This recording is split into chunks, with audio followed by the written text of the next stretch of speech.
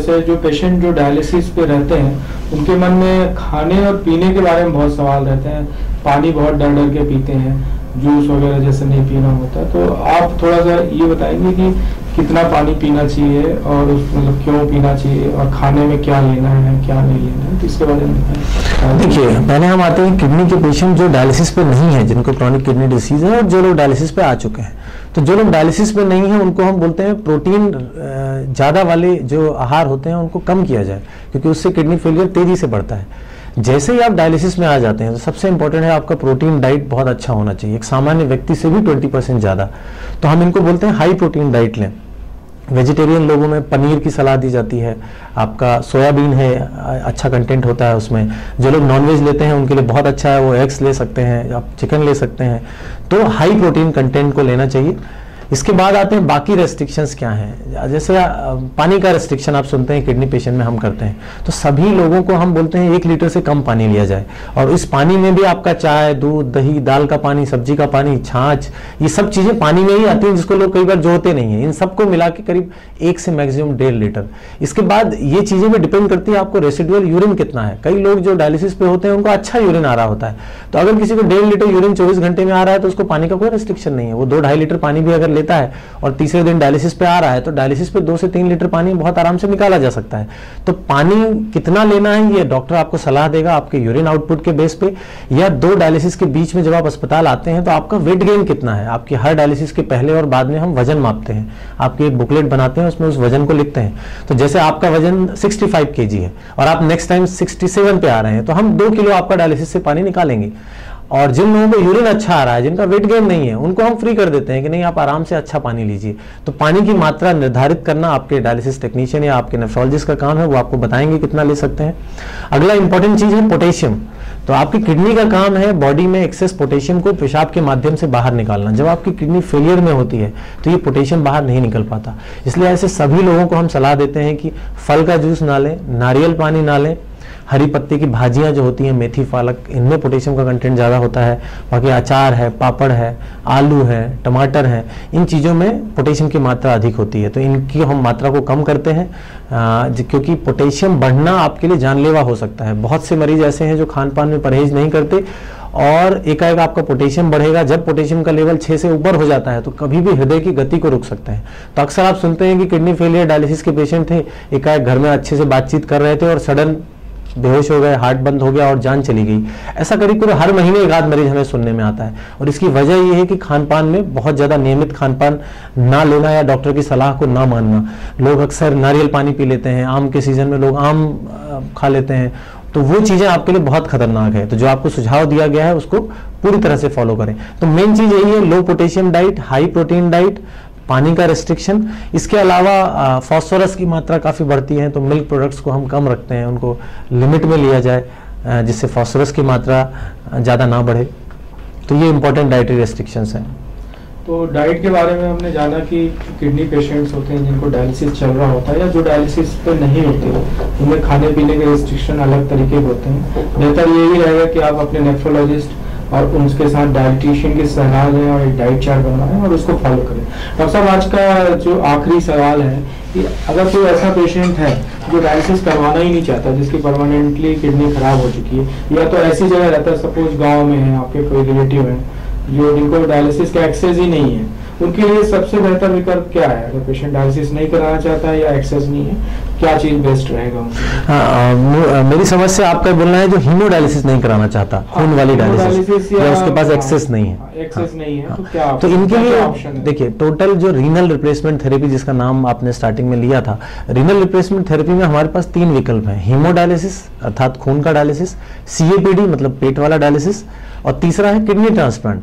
तो अगर आप हीमोडायलिसिस नहीं कराना चाहते या आप दूर दराज के गाँव में रहते हैं, आपके लिए एक्सेस नहीं है, या आपके पास नसों की एक्सेस नहीं है, आपकी सारी नसें खराब हो चुकी हैं तो ऐसी स्थिति में आपके पास क्या विकल्प बचते हैं? सीएपीडी पेट का डायलिसिस या सबसे अच्छा विकल्प है किडनी ट्रांसप्लांट। तो अगर आप किडनी ट्रांसप्लांट के लिए फिट है और आपके घर में डोनर है, चाहे वो ब्लड मैच्ड है या ब्लड मैच नहीं है, आजकल बिना ब्लड ग्रुप के भी ट्रांसप्लांट होते हैं तो सबसे पहले तो आपको ट्रांसप्लांट के विकल्प में जाना चाहिए, क्योंकि उसमें आपकी क्वालिटी ऑफ़ लाइफ सबसे अच्छी है, आपकी लाइफ की जो लॉन्गेविटी है वो सबसे अच्छी है, आपके पास कोई खाने का रिस्ट्रिक्शन नहीं है, पीने का रिस्ट्रिक्शन नहीं है, एक नॉर्मल ज़िंदगी जी सकते हैं तो आप ट्रांसप्लांट के विकल्प में आपको जाना चाहिए। और अगर ट्रांसप्लांट के लिए डोनर नहीं है, आप किसी भी वजह से नहीं कराना चाहते तो मैंने आपको बताया अभी अभी सी इसमें आपको वेस्कुलर एक्सेस की बिल्कुल ज़रूरत नहीं है, आपको किसी अस्पताल के आसपास रहने की ज़रूरत नहीं है, आपको खुद ट्रेन कर दिया जाएगा। आपके घर का एक आदमी जो कि इसके बारे में ट्रेन होगा, वो घर में आपकी डायलिसिस करेगा और आप महीने महीने एक बार अपने नेफ्रोलॉजिस्ट से मिलेंगे। तो ये दो विकल्प हैं और मेरे हिसाब से दोनों विकल्प बहुत अच्छे विकल्प हैं। डॉक्टर साहब, जैसे मैंने बोला था आखिरी सवाल बट जस्ट एक मेरे मन में सवाल आ रहा है, क्योंकि हर पेशेंट जैसे भी हम देखते हैं तो सबसे पहले पूछता है, कितने पैसे लगेंगे डॉक्टर साहब? तो आपने जैसे डायलिसिस खून की बताई पेट्रोलियम डायलिसिस किडनी ट्रांसप्लांट अब जो कोई पेशेंट अगर गरीब है तो जैसे हीमोडायलिसिस में मेरे ख्याल से हर बार पंद्रह सौ दो हज़ार रुपये लगते हैं। पेट्रोलियम डायलिसिस भी महँगा होता है किडनी ट्रांसप्लांट भी महँगा होता है। तो ये क्या कुछ ऐसी सरकारी सहायता भी होती है? गरीब मरीज़ क्या करे? कहाँ जाए? कहाँ डायलिसिस करवाए? या उसके लिए क्या अच्छा ऑप्शन रहे? कोई सरकारी मदद अवेलेबल है? गरीब मरीज़ मरीजों के लिए आप क्या मैसेज देना चाहेंगे कुछ ऐसा? देखिए सबसे पहले तो आ, सरकारी मदद के पहले मैं इस पे आता हूँ कि आप पैसे के खर्च को समझें कि इन तीनों पद्धतियों में खर्च को हम कैसे आपस में कंपेयर करते हैं। तो अगर आपके पास कोई सपोर्ट नहीं है, आपके पास कोई बीमा नहीं है, आपके पास बीपीएल कार्ड नहीं है तो एक हीमोडायलिसिस का महीने का खर्चा, एक एवरेज हॉस्पिटल में भी करीब करीब महीने का पच्चीस हज़ार तक होगा आपकी दवाइयाँ और आपके डायलिसिस को मिला के। आप महीने में आठ से बारह बार डायलिसिस करने आएँगे। सीएपीडी पे भी आते हैं तो करीब करीब वही है, पच्चीस के आसपास। ट्रांसप्लांट का, एक टाइम का, पूरा ट्रांसप्लांट का खर्चा करीब करीब पाँच से छह लाख होता है। तो अगर आप कैलकुलेट करें तो करीब करीब डेढ़ साल में या मैक्सिमम दो साल में जितना आपका डायलिसिस का खर्चा है, आप उतने में ट्रांसप्लांट करा सकते हैं। आपका लाइफ भी बेहतर है। उसके बाद ट्रांसप्लांट के बाद महीने की दवाइयाँ पाँच हज़ार, छह हज़ार मैक्सिमम की होती हैं। तो मैं इन तीनों पद्धतियों में सबसे सस्ती पद्धति मानता हूँ किडनी ट्रांसप्लांट जो कि लोगों को गलत फहमी है कि ट्रांसप्लांट सबसे महँगा है। लेकिन आप किस्तों में पैसा दे रहे हैं, हर महीना पैसा दे रहे हैं। अगर आपकी ज़िंदगी पाँच साल भी रहती है डायलिसिस में तो आप जब उसको जोड़ेंगे तो उसमें तो तीन से चार बार ट्रांसप्लांट हो जाएगा। तो सबसे कम खर्चीला पद्धति है इसमें गुर्दा प्रत्यारोपण। तो आपके घर में अगर फिट डोनर है तो सबसे पहले आप ट्रांसप्लांट का विकल्प लें। उसके बाद की दोनों पद्धतियों में करीब करीब बजट बराबर के होते हैं। अब हम आते हैं गरीब व्यक्ति के लिए क्या क्या ऑप्शन है। तो आ, सरकारी सहायताएँ मिलती हैं। आजकल आयुष्मान योजना है तो जो सेंटर्स आयुष्मान योजना से हैं साथ में तो उनका फ्री डायलिसिस होता है। वो उन अस्पतालों में जाके अपनी डायलिसिस कर सकते हैं। सी के लिए अभी तक सरकारी कोई योजनाएँ नहीं है मेरी समझ से लेकिन रिसेंटली हमने सुना है कि सरकार आ, पेट के डायलिसिस के लिए भी योजनाएँ चालू करने वाली है। और यही कारण है कि मैंने बताया कि हीमोडायलिसिस पे लोग ज़्यादा हैं, क्योंकि उसके लिए शासकीय योजनाएँ हैं। हर शहर में ट्रस्ट के हॉस्पिटल्स होते हैं, गरीबों के लिए मदद होती हैं। और सी के लिए ऐसी कोई मदद अब तक बहुत ज़्यादा नहीं थी। शायद वो भी सरकार लाने वाली है।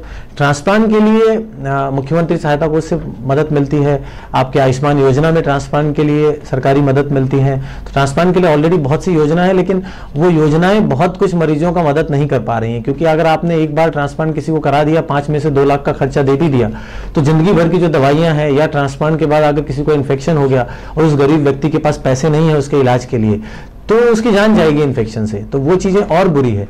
तो मुझे ऐसा लगता है कि इन चीज़ों के लिए जो एन हैं या सरकारें हैं उनको बहुत गहराई से सोचने की ज़रूरत है कि हम ट्रांसप्लांट के लिए कैसी योजनाएँ लाएँ कि ट्रांसप्लांट भी करें बाद की दवाइयों का भी उसमें सब कुछ इंक्लूडेड हो। आप डायलिसिस का मुफ़्त में डायलिसिस तो दे रहे हैं लेकिन साथ की जो दवाइयाँ दस पंद्रह हज़ार महीने की हैं उसको हाई प्रोटीन डाइट चाहिए उसके बाद उसकी क्या आ, उसके लिए क्या विकल्प है? तो इन सब चीज़ों को सोच के सब कुछ समझ के और फिर अगर मदद की प्लान बनाई जाए तो शायद गरीब लोगों के लिए काफ़ी मदद होगी। नहीं तो अभी तक की जितनी भी योजनाएँ हैं, वो सब हमारी नज़र से मरीजों के लिए बहुत मदद नहीं कर पा रही हैं, क्योंकि जितने भी शासकीय जो अस्पतालों में लोग डायलिसिस करा रहे हैं, जो आयुष्मान से करा रहे हैं, वो सभी मरीज़ परेशानी में दिखते हैं, क्योंकि उनको आपने डायलिसिस तो दी, लेकिन बाकी विकल्प उनके पास नहीं है। तो वो उनके लिए और ज़्यादा जान का खतरा बन जाता है कई बार। डॉक्टर साहब, आपने बहुत फाइनेंशियल एस्पेक्ट पे बहुत अच्छी जानकारी दी, और मैं ये कहना चाहूँगा कि सरकार को और भी ज़्यादा से ज़्यादा डायलिसिस सेंटर खोलने चाहिए, क्योंकि अब आयुष्मान योजना है जिसमें डायलिसिस के लिए पैसे मिलते हैं तो गरीब मरीजों की मदद होगी।